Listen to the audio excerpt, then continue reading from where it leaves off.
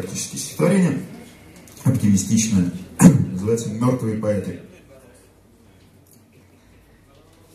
Мертвых поэтов читают до дыр запоем, живые для баров пишут.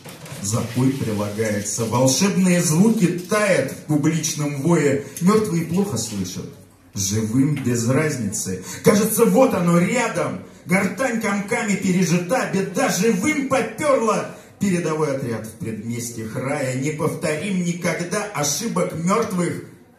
А где-то на тонкой границе меж теми и этими усатый таможенник пялится в накладные.